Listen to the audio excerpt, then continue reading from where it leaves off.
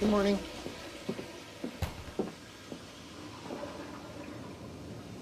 Wow, it's great to see you, Ben. One more time, then, for good measure. Let's do it.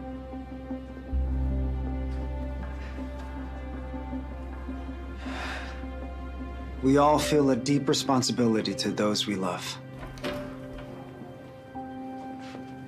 I'll give you two some space.